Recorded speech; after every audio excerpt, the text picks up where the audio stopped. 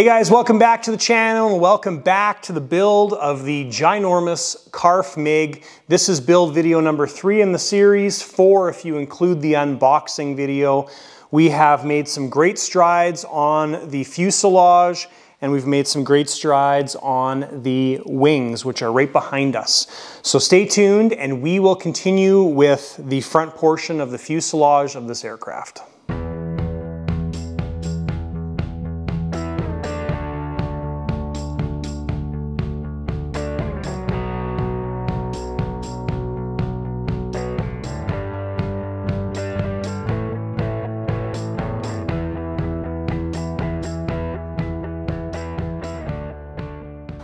Right guys, last video we basically got the wings completed, which was a huge portion of it. Now what we need to do is we need to move on to the front landing gear and the doors first.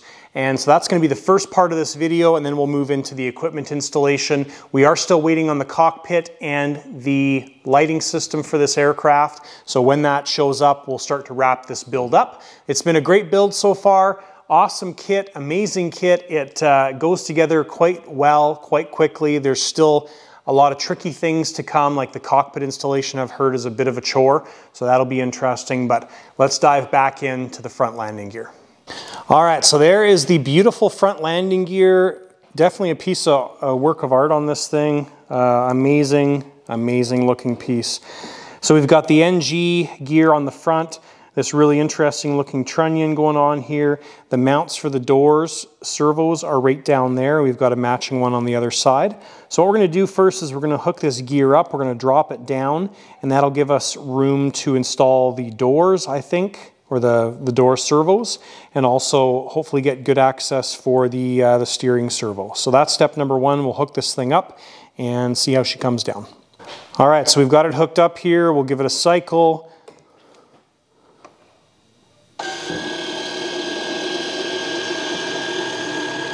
Beautiful. So there's not a lot of room between the, uh, the door hinge there, but uh, there's enough for it to work. So that is uh, very cool, beautiful looking landing gear. And uh, the spring preload on it is, is quite soft. You can see there, uh, I'm just operating it with one hand and hardly any force. So the, the nose on this is very, very light from videos I've seen. So first thing we'll probably do here is get the steering servo hooked up. I'm thinking might be the best first step. And then we will start to focus on those gear doors. All right guys, so this is the first, uh, first kick at this uh, nose linkage. I don't know if I'm overly happy with it. Um, yeah, I mean, it, it works, it works okay. I, I'm just, I don't know. I think what I'm going for here is I'd like to get uh, this ball joint a little bit closer on the servo arm. And in order to do that, like there's not a ton of movement in the actual leg, like this is our movement here. Um, but in order to do that, I need to get the servo arm turned uh, one more notch or maybe two more notches. Um, so I'm gonna play around with that a little bit. That's gonna require to uh, shorten this linkage up but I'm going to uh, probably move that one more notch and then drill another hole a little bit closer to the, uh, the output shaft of the servo. All right guys, so modified this a little bit. I took seven millimeters out of the, uh, the linkage length. I turned this one notch and I'm happier with the layout of this now. Uh, bringing that uh, pivot point on the servo arm in a little bit also requires you to increase the servo travel so you get better resolution with the servo. So anyways, this all worked out better. And then what I did was uh, retracted the gear and just checked where I could run the servo wire. And so this is the best spot for the servo wire and I'll show you here when we retract this. So completely keeps it out of the way of everything and then we're, we're nice and uh, reasonably snug right here. And I just used uh, electrical tape, a little bit of CA to hold that in place, and I think it's a great setup.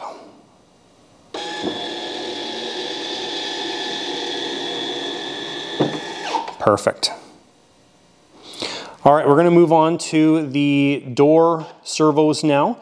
And for those, Same as the main gear doors, we're using uh, MKS HV747s. Again, great servo for this purpose, uh, tons of power and uh, a little bit overkill, but perfect. All right, so we've got the servo installed there and uh, pretty straightforward. I ended up using those 15 millimeter Secraft arms that uh, I didn't use on the main gear doors and they work out perfectly for the nose gear doors. We've got a Du-Bro uh, ball on one side, on the Secraft side, so that's the two millimeter ball with the 440 or uh, I guess three millimeter rod going into the clevis. So we're nice and straight there. And uh, as far as the angles and stuff go, so that's the uh, closed position. And we're gonna open the door.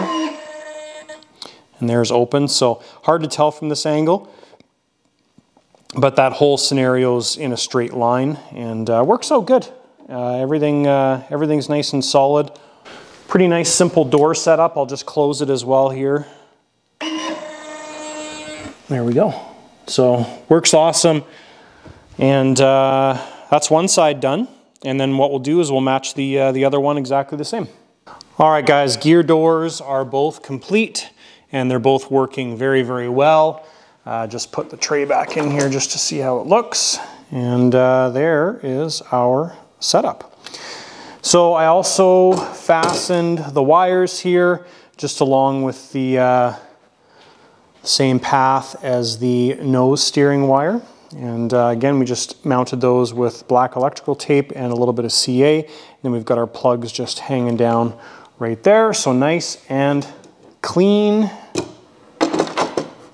so as I mentioned, we are jumping around a little bit with this aircraft because of parts, right? So uh, next thing in my brain that I think we want to get done is we want to get all the wing wiring completed. Now what we're going to do with the wing wiring is we're going to make our hole in the wingtip light. We're going to run our wire for the wingtip all the way to the base. And uh, the last thing we'll have to do with the wings when we get it is the drop down light here. Now, I actually just noticed this.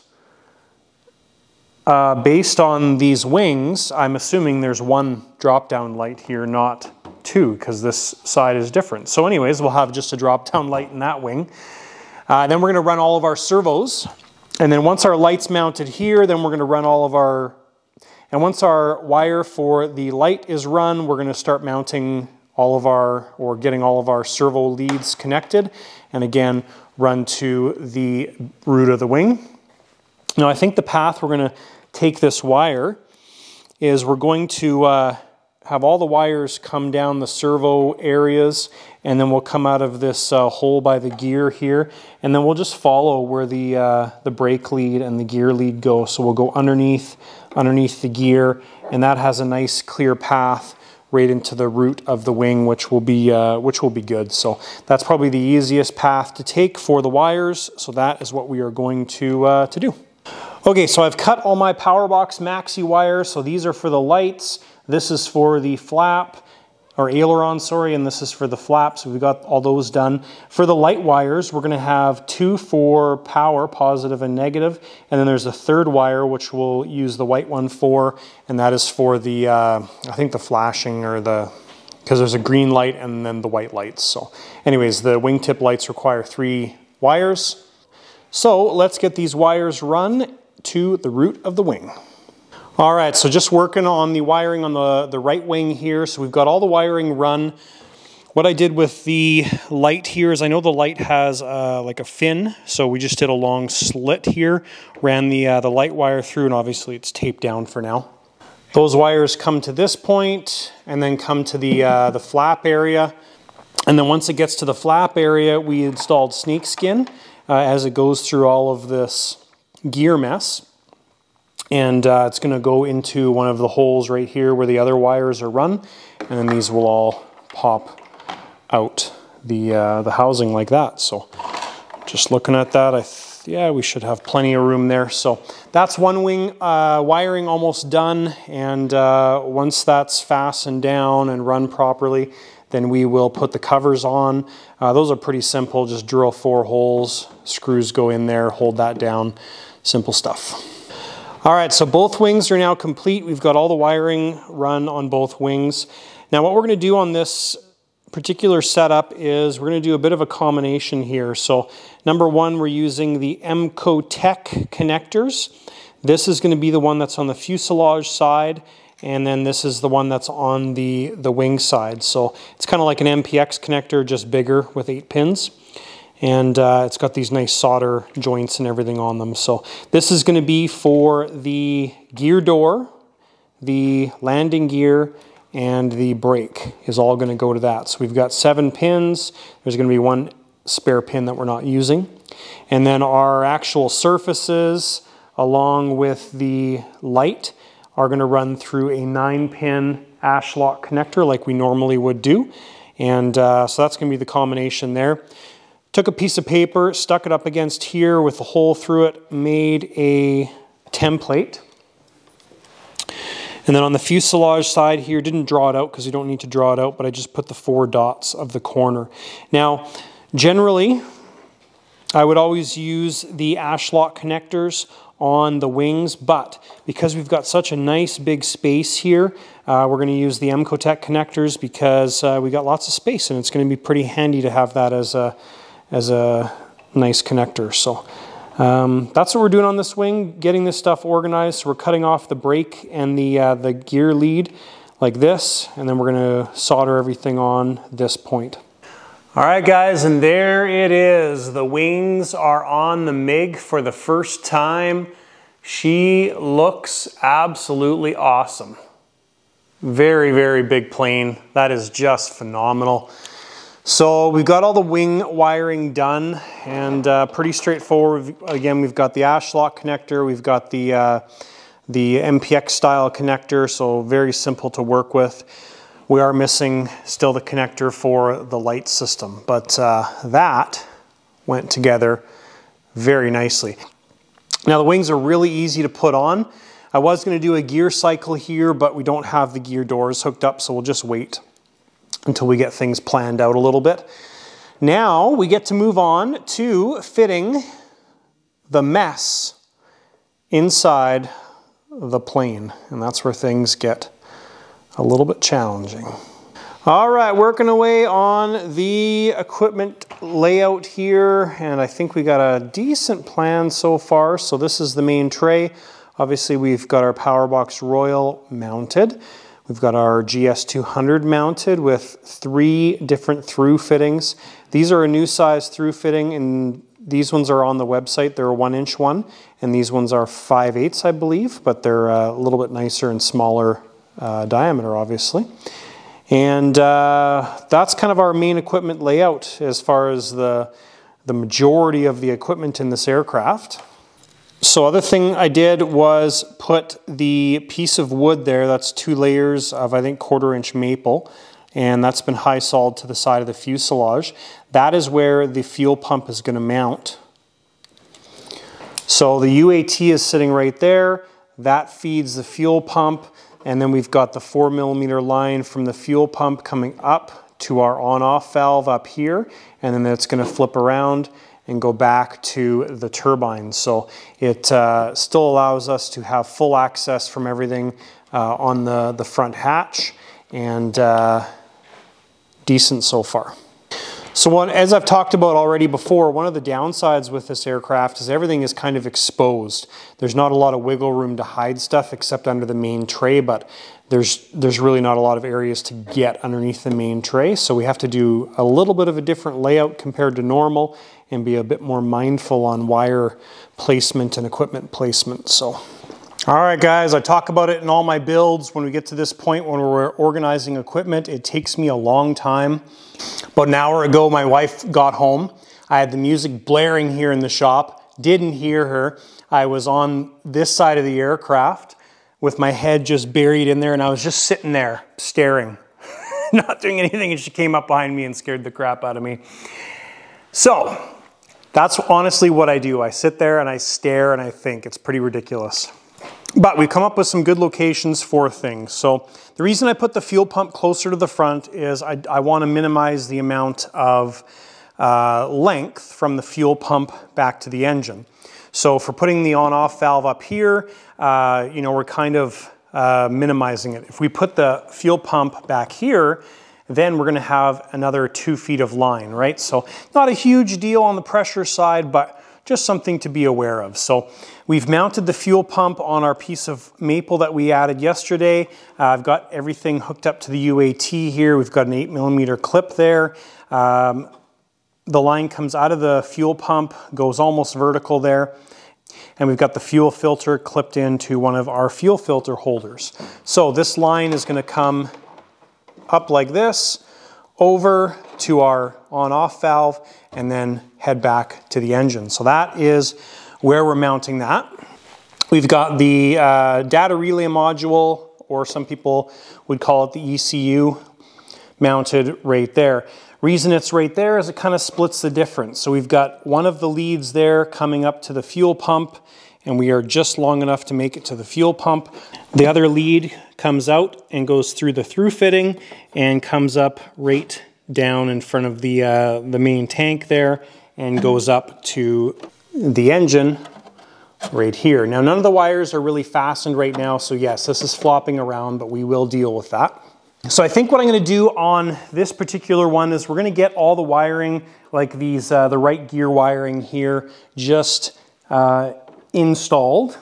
So I'm gonna do as much of the wiring as I can and just have it laid in place. And then we'll see what the best, best methodology is. Um, if I put down uh, one of my servo wire keepers or if we wrap it in black electrical tape and CA it down. Uh, I just want to uh, get everything run and, uh, and go from there. So I'm not going to really fasten anything or most things down until we get all of the stuff run. So next thing I'm going to do here is complete our wiring coming from the back end. Now that's going to come down and we'll come under the plate right there and then we'll come out the big through fitting right here because all of those wires from the back, uh, except the light wire, is getting plugged in here. All right, guys, a bit more progress made. Uh, finished running all the plumbing for the turbine. Well, not everything. We have to still run the line to the turbine, but we've uh, also run the fill line here as well. And uh, what I did was I ran a piece of six mil uh, Festo tubing up to here and then put a connection. So we have our Tygon filler here and uh, that is sitting in this area. So when you pull the top hatch off, nice easy access to our fill line. I've also filled up the UAT. Now the UATs, you, you pretty much always want to have fuel in them. If you drain them dry, what happens is now your filter element or your sock or whatever type you're using now is going to have air in it. And it takes a little bit of time to actually get that air out. So what I like to do if I can in this portion of the build is get them full. So now they're sitting and when we run the turbine for the first time, we'll get all the air out. And uh, we've got about the tank uh, about a third to halfway full over there on the main tank. And that's where we're gonna have it for our CG check. Um, we may fill it up even more, but that's uh, a reasonable landing amount of fuel for this aircraft. And then we've got most of our wiring done for the servos and surfaces. The last things we have to do is to run the wing wiring. So we're gonna run the wing wiring down with this gear bundle and it's gonna come to this location here and then we're gonna have it go down underneath the plate and then back up through our through fitting right here to go to the power box. Now all of our light leads so far are just sitting in this area as well too, so our light controller can go somewhere in this area. And then we've got the same thing on the, uh, the other side of the, uh, the aircraft as well. But the wiring so far has been actually very, very clean, pretty straightforward. Front section here, don't mind the, uh, the satellites, but we've run our uh, some wire keepers these are the ones that I stock. So we've run the eight wire keepers going forward and then cut them in half and split them going up. So now we've got lots of, uh, lots of options for running wires. It's nice and clean, easy to service, easy to remove. So, so far happy with everything.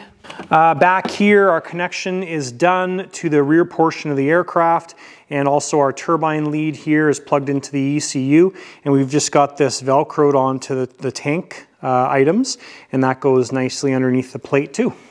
So all in all, very clean setup so far. Um, I haven't been uh, really tackling this with a full head of steam. What I've been doing is putting a lot of thought into this. Like I was gonna mount these guys down already, but because we have to run these other wires with it, I'm just kind of taking my time with that.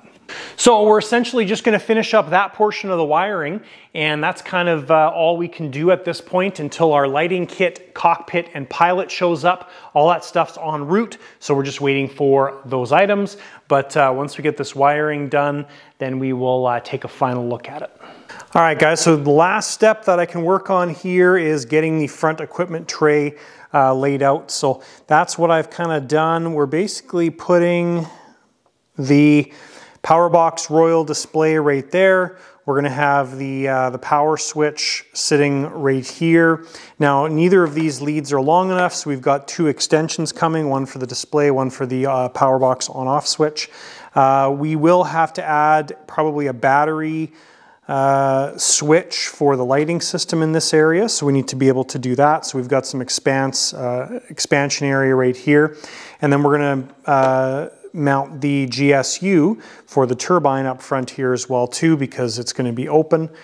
It will work well just to have that mounted in the plane. So that's kind of the layout we're going for here. So uh, what I'm going to do now is I'm going to take this tray out and that's going to allow us to uh, have decent, easy access to everything. Uh, for the GSU, what I did was I put a uh, I put a plug right there and that runs to the uh, the data relay module. So, and of course it's marked with GSU, so we can have this lead plugged in to right there when we get the tray put in. All right, so we got the board all complete. And uh, other than probably the power switch for the lighting system, so that's been all installed and uh, nice and compact, functional, and works good. So there's the back side there. So all these wires, we're gonna leave these two wires until we get our extension cables and then we'll get those organized. Uh, the GSU wire, we're just going to uh, basically tape it in place and leave just enough to plug in to the little GSU port that I showed you on the side of the intake. I think I've talked about this before, but this would definitely be a good tip time. And this tip time today is brought to you by Trusty Bent screwdriver. All right, this episode's tip time. I think I've talked about this before, but when I put my screws through the board and plate for the different items like the RTL screws, the power box screws, that kind of stuff, I like to cut them off and then you don't have to worry about the, uh, the sharp edges or the points or anything like that. And the easiest way to deal with these things is a nice pair of snips or side cutters and you just get it close to the base and it's helpful to have this tipped over. I like to do it inside my garbage can and pretty easy to snap those screws off. They pop off with quite a bit of force so uh, if you're holding them upright like this and you snip them they're going to go shooting across your workspace. And generally with those side cutters, if you get a decent enough pair that is quite close, you'll be able to, to cut it almost flush with the board. If you want to take it one step further, you could sand that down with a Dremel, but I find that that at least gets rid of the, uh, the excess screw hanging out.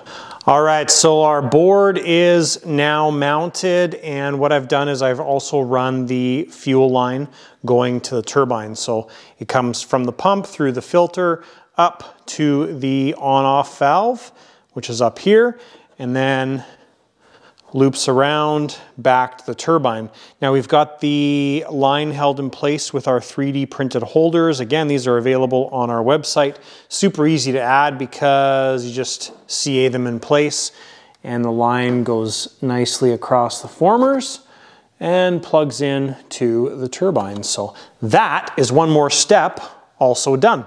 And you can see here the GSU, we're just plugged nicely into the GSU plug. Uh, this I held on the underside with electrical tape and a little bit of CA, and that again works awesome.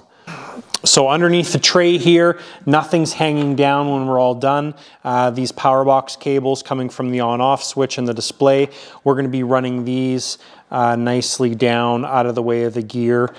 And uh, the servo does come up kind of in this area, so we just need to run those off to the side. And uh, we'll deal with that though once we get our extension cables. And this gives you a bit of perspective on what we, going what we got going on here. So When we take this hatch off, we'll have access to everything to run the plane.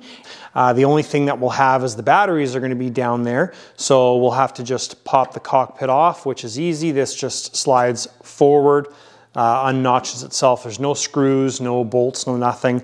And this whole assembly will pop out. So that is good. But uh, for, for daily flying, this is everything we need access to right here. All right guys, and as the last step in this video, we installed our cannons. Now, the kit comes with uh, three carbon tubes. These are the same size, and that is, uh, I think these are 20, I just, I just watched a video on it, I think 23 millimeter cannons, and I think this is like 37. So there's a walk around video on YouTube. Great shots of the, uh, of the side here. So I just based how far I inserted these on what I saw in the video. And then same thing on this side as well too. In the video it shows the, the cannon coming kind of just to the front edge of the door.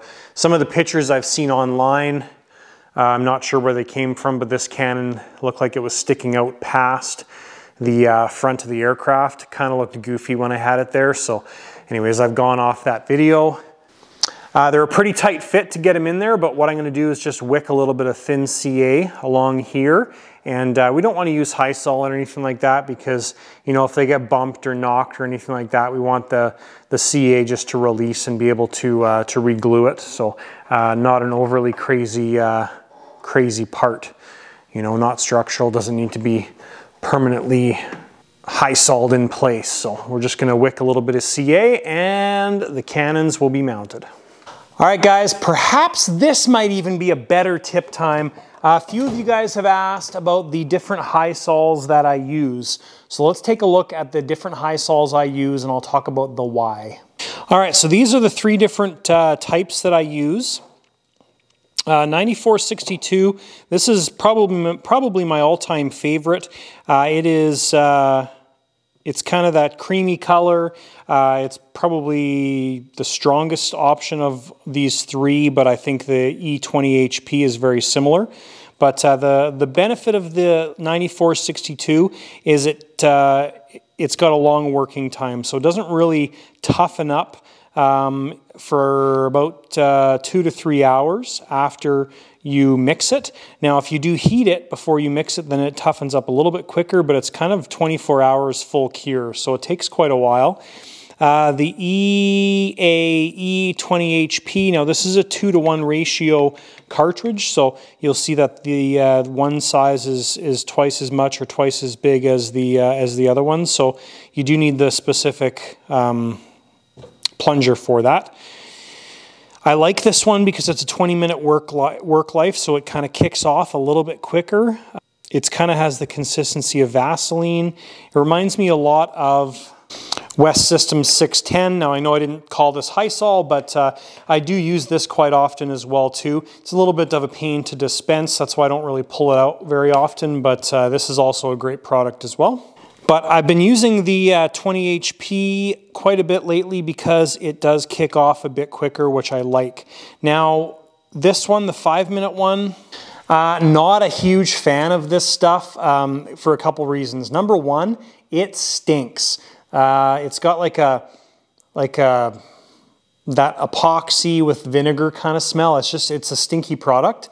And uh, it does kind of kick off in five minutes, but it never really gets good. It uh, kind of always stays gummy, so you wouldn't want to try and paint over this because it doesn't accept paint very well. The other ones do, so not a huge fan of this. I don't use it very often, and uh, but I, I do have, I think, what do we got here? Two tubes, three tubes actually sitting in my toolbox. So, um, but if I have like a, uh, a plate to mount on the bottom of, an, a bottom of an aircraft that a smoke pump's going to mount to or something like that. That's where this kind of works well, but um, you know, nothing structural, nothing like that. So those are the different Hysols that I use, and uh, you know, they all kind of serve a, a, good purpose. If I was to suggest one, uh, probably my favorite lately has been this guy here, uh, the, the two to one 20 minute stuff.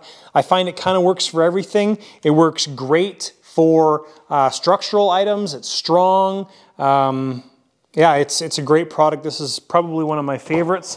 One of the reasons I'm not a huge fan of 9462 right now is at our local hobby shop, this has doubled in price. So um, this is the last tube I have, but uh, for most stuff, I've been using the, the 20 minute stuff and it works awesome.